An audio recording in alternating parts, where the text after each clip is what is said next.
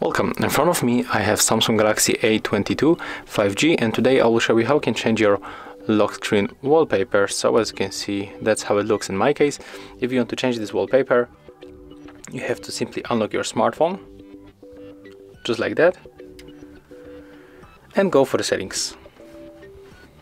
Right now we have to go for the wallpaper, and as you can see, we can choose the lock screen or home screen wallpaper. So for sure we are going to change on the lock screen.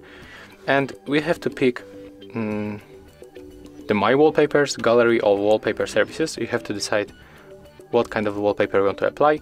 I'm going for my wallpapers. And for example i'm going to change for this one.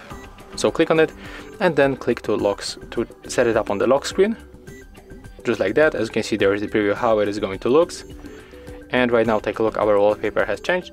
But if you want to change the wallpaper with your own picture, you have to pick gallery. And here from the gallery you can pick for example this picture, bid this picture and uh, click done. Then choose the lock screen. And as you can see there's the preview of the wallpaper how it is going to look so if you find this video helpful remember to leave a like comment and subscribe to our channel